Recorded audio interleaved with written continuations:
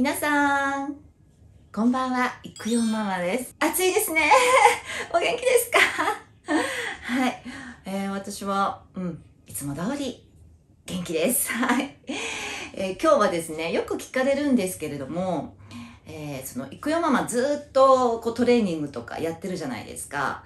なんで継続できるの？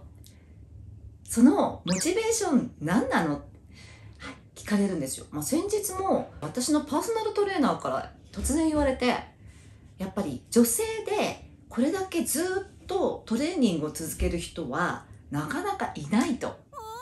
その近藤さん、モチベーションとかって何なんですか？って聞かれたんで、パッて答えたのは、うん、私、見た目が大事な仕事をしてるので、やっぱ仕事がこういう仕事だからってのはあるのかなって、うん、答えました。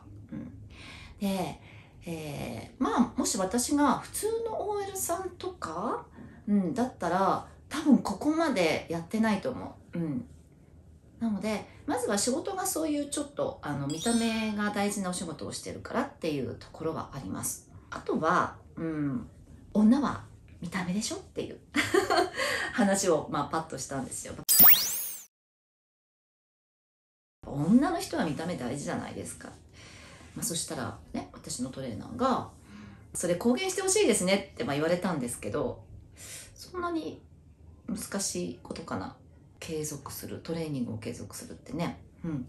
で、まあ、そんな話をした後なんですけど、私あの先日、名古屋の APF の大会に出てきまして、あ、そうそう。結果、結果、もう散々でした。はい、えー大会の様子は動画にアップしてますので、もしよろしければ私の大会の様子も見てください。まあまあ、散々でした。まあ一番笑えたのは、ビキニの部門に出たんですけど、10人出場して、私は最下位。最下位。で、あのまあもっと笑えるのが、そのオープン戦だったんで、年齢制限がなかったんですよ、全く。はい。ねえ。うん。20代、まあ、30代前半までしか出てなかったですね。10人パッとステージに上がる前に集まってて、えこれだけ？って思って、え、これだけの中で、20代、30代の中で、私50代で、めっちゃくちゃ目立つじゃんと思って。はい。あの、まあ、最下位でした。うん。はい。ね、で、まあ、あの、更衣室にいますと、こう、ステージでパフォーマンスをしてきた、まあ、選手の方たちがいっぱい雑談とかしてるんですよね。で、私はあの、こう一人でちょっと休んだりとかしながら、その雑談を聞きながらいたんですけども、皆さんおっしゃってるのが、もう大会はやめる。うんま、または、この次でやめるとかいう方がすごく多くて、私は、え、なん、なんでやめちゃうのって思ったんですよ。うん。私あの、結果は散々でしたけど、やめようとか思わなかったんで、はい。まあまた継続してトレーニング頑張って、また来年出ようかなぐらいな気持ちだったんですけど、あの、皆さん本当にやめるって声が大きくて、で、一番多かったのが、やっぱり減量がきつい。うん。あの、皆さんやっぱり、まあ、半年とかは減量して、ステージに上がられてるんで、きついんでしょうね。うん。あの、家族に迷惑をかけるとか、うん、やっぱり家族と食べるものが違うし、ご飯とかに行っても自分だけ食べるものが違ったりとか、なので、あの、家族にも悪いみたいな。ちょっと待って、そんなに大事なの？って。そう。で、さて、その時思ったんですよ。あ、とことんやった人って、やめれるんじゃないかなって、思った。うん。あとね、こんな人もいた。その、大会以外にもやってみたいことがあるから、私は今回でやめるみたいな。そうそう。まあそうですよね。大会に集中してたら、多分他が何もできない。うん、わかります。まあそれに関しても、私の場合は、まあ、趣味がお酒と筋トレ？なので、まあもう趣味になっちゃってるので、まあ筋トレは続けようかなと。うん。で、大会も、まあその延長戦っていうのかな。あの、だから今回も10人中10位だったじゃないですか。でも、なんか悔しいっていう気持ちがその本当になくて、まあ、動画を見てもらったらね、わかるんですけど、皆さん本当に素晴らしいんですよ。綺麗なの。うん。だから、そんな中で、ずうずしくも出て、同じ空気を吸えて、一緒のステージに出れて、なんか私はもう嬉しさしかなかった。うん。だから多分そこで、あ、恥ずかしいとか思っちゃうまあ、ある意味正常な精神があればもう多分やめると思ってるんですけどなんか私はもう出れて嬉しいみたいな。本当に嬉しい。うん。まあそう思えたのでうんやめようとか思わない。で本当にとことん頑張ってないある意味。なので結局私ってそこまで頑張ってないんですよね。なんかもう本気で。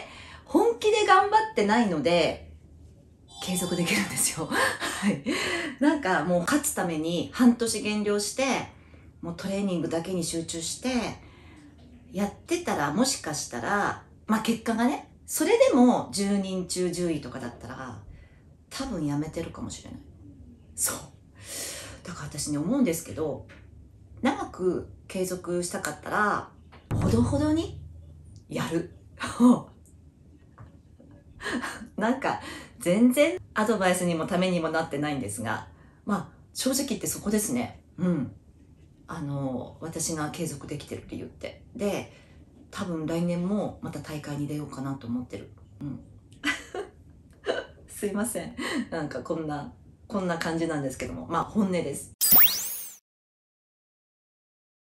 まあ、その中で、やっぱりお仕事を、こういう仕事をしてるから、やっぱりちょっと綺麗でいなきゃいけないなとか、うん、やっぱりあの私女の子を使ってるので私がなんかこうブヨブヨの体型で女の子たちにもっと綺麗になりなさいとかなかなか言えないじゃないですか。なのでなんかもう私意外とねお店の女の子にはもっとこう綺麗になれとかあんまり言わないんですよ。まあちょっとぽっちゃりの子だったら痩せなさいとか言わないんですよね。